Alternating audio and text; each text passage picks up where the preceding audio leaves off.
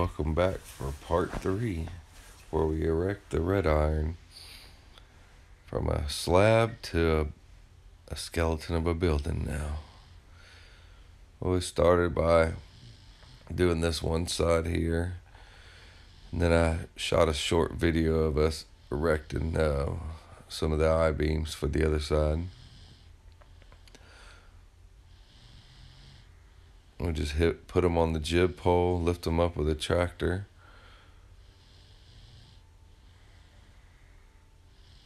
And then you put them down on the anchor bolts and bolt them down, secure them. Then you put your wall girts on.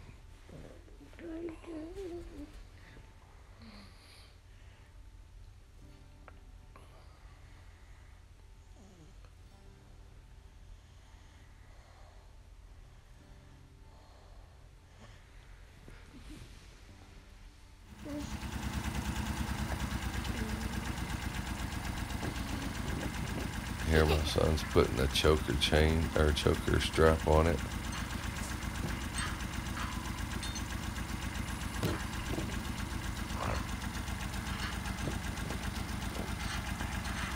that water on here?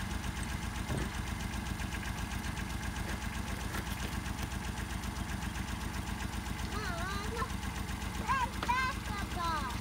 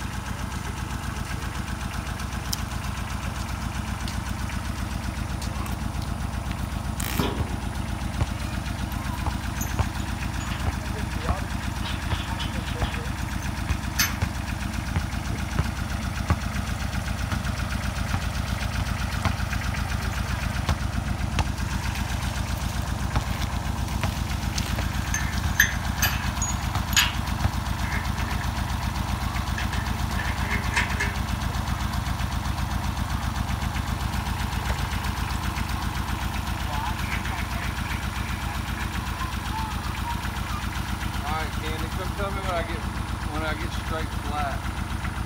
And we can grab the. I was so proud of my son. He helped me so much. We just worked together so good. He had a great time helping me.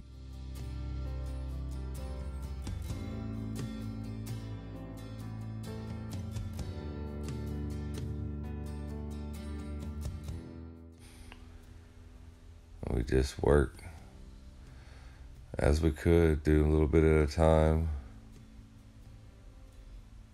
We put all these up, you know, just turn of the nut.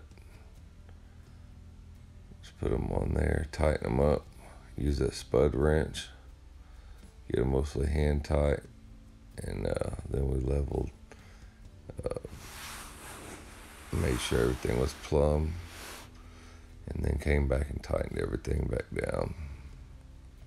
No, I definitely couldn't have done it without having him help me to do all this. It was a great help for sure. I'm very proud of him.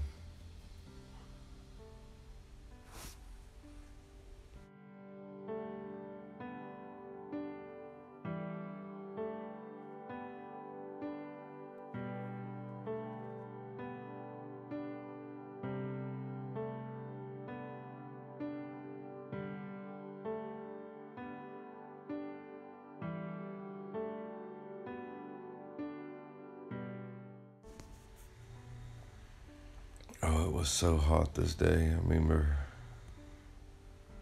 while we were doing this, we started early in the morning, started laying everything out, getting this back wall, back section done. And I stood that one piece up in the middle, holding it there with the tractor while I realigned everything else. And then we put the very top one See, it's working up, going from top to bottom. I mean, from the bottom to the top.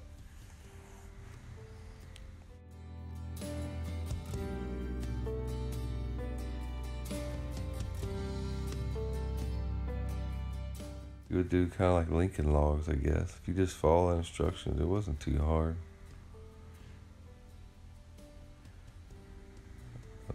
The hardest thing was probably uh, labor intensive. Something I'd go back and read the instructions and come back to it and figure it out. There was a few of these I put on um, backwards, and I had to actually take them off and turn them around because the bolt holes wouldn't line up.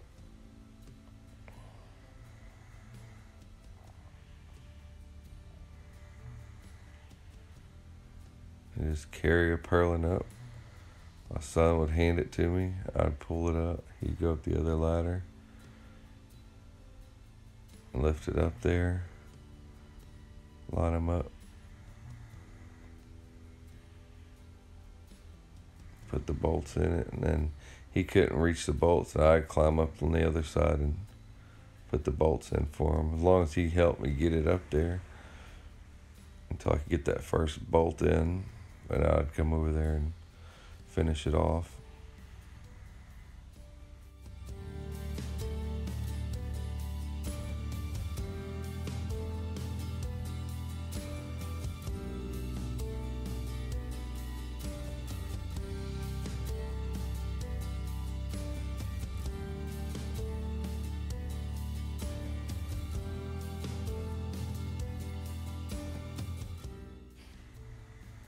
This is like, I think this was around July, the end of July, possibly, maybe beginning August, and it was so hot you could hear the cicadas out chirping so loud.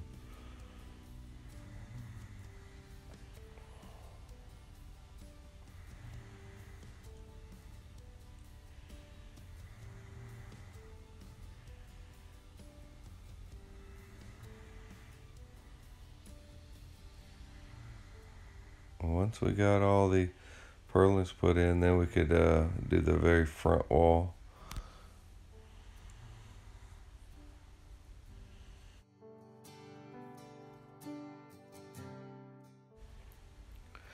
Yeah, I will end up having to chisel a little bit of concrete out. You'll see on the next video as we are putting that front wall in. Some of them were a little bit tight. And just took the cold chisel and knocked them out. If you look closely on the on the uh, time lapse, you'll see a little bit of dust flying out whenever I was chiseling them. Right there.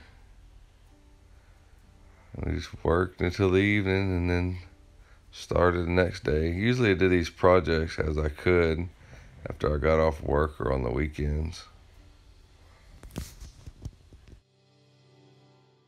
All right, now that we're getting the front wall done, it's almost complete. And then I can put the front door in. Which here I am putting the frame in. It took a little extra fabrication. Then next I put the base angle that goes around the whole bottom lined everything up, tightened all the bolts down. Until there was a storm coming behind me. I think once I got that door in, it was starting to rain. And I picked all the tools up. And that was about it.